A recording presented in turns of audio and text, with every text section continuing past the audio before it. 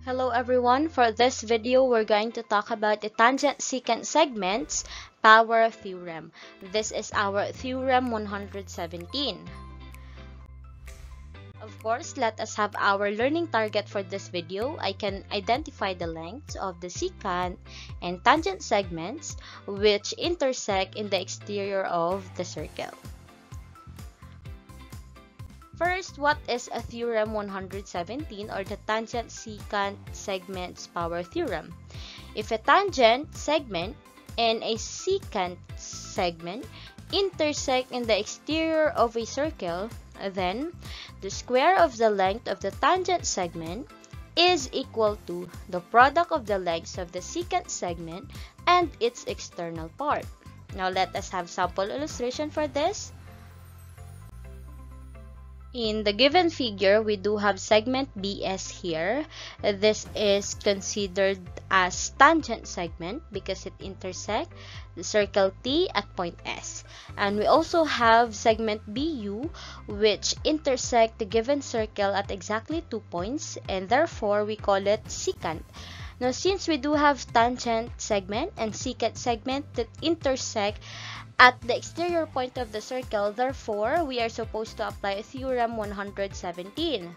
But of course, let us write it here first. The given details mentioned here, we do have BC is 8 centimeters. And we also have CU which is 10 centimeters. And we are asked to find out the length of our tangent segment BS. And since we don't know it yet, so we can represent it using any variable. So for now, I'm gonna use variable x. And now we can proceed with writing our equation or formula based on theorem 117 as stated a while ago. So as mentioned, um, to find the, the length of our segment BS, let us have this equation. So, square of the tangent segment. So, our tangent segment here is BS. So, let us translate the description mentioned a while ago. So, BS squared. And it is equal to the product of the secant and the, the external part. So, secant is BU. So, it will be multiplied with our BC. Now, so let us proceed with substitution. Our BS is x as of now. So, x squared equals for our BU, this is the length of the entire secant. So, we are supposed to add up 8 and 10. So, we will have 18. Then multiplied with our BC which is 8. Now, let us multiply. So, we do have 18 times 8, it's 144. This is not yet our final answer since we do have here x squared. So we need to simplify by getting the square root of both sides of our equation. Now, what is square root of x squared? It's x. And what is square root of 144? It's 12. But for now, this is our value of x. Therefore, BS is 12. But of course, to write your final answer, you are supposed to write it completely. So, final answer B S is equal to 12 centimeters. We need to include the unit of measurement since in my given details a while ago here, I do have 10 centimeters and 8 centimeters. Therefore, for our final answer, we do have 12 centimeters. Okay? Next, we have find the value of x and y. So as you can see, we do have two circles here. We have the upper circle and then the lower circle. And we do have uh, tangent segment AB and the AE. Now, take a look with the given illustration. We can have two combinations right here. We do have tangent AB paired with secant AD and then the other one is tangent AE paired with secant AD. Now, let us see if which one are we going to solve first.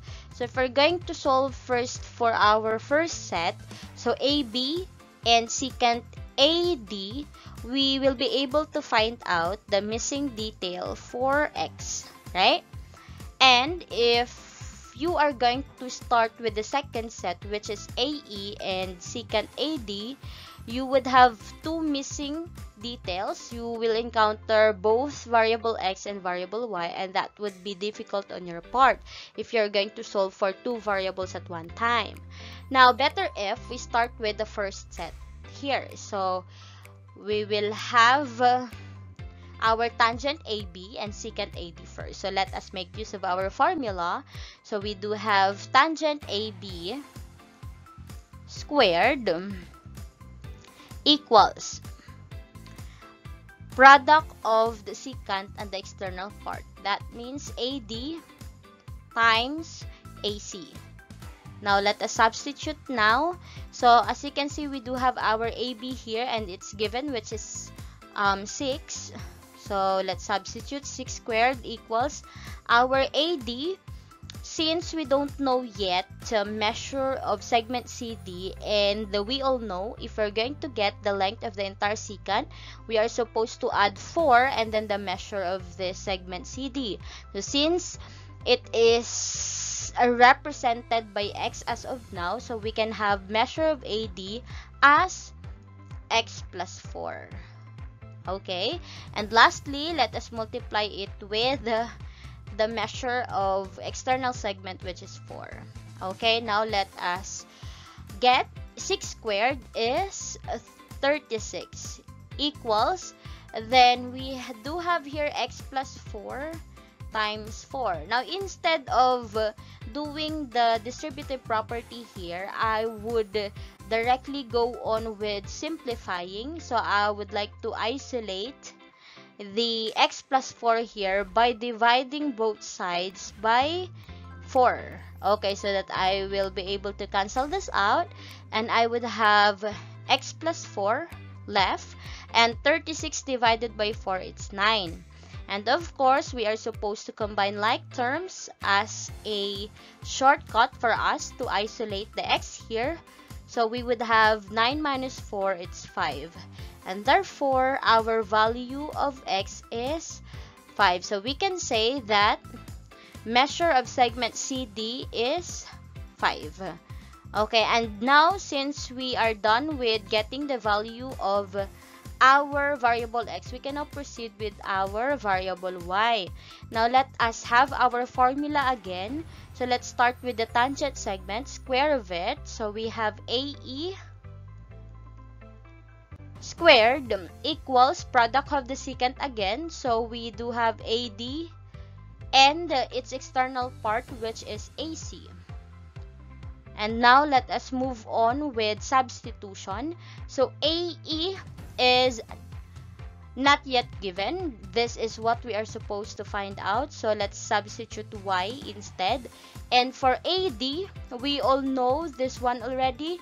Measure of the secant AD is 4 plus 5, we do have 9. And for our AC, we do have 4. And now let's multiply.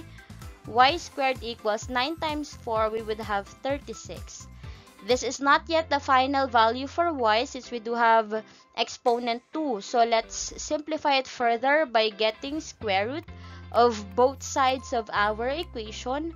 And there let us have what is square root of y squared? It's y and square root of 36 it's 6 therefore this is our final answer. So x is equal to 5 and y is equal to 6 so this means the length of AE is 6.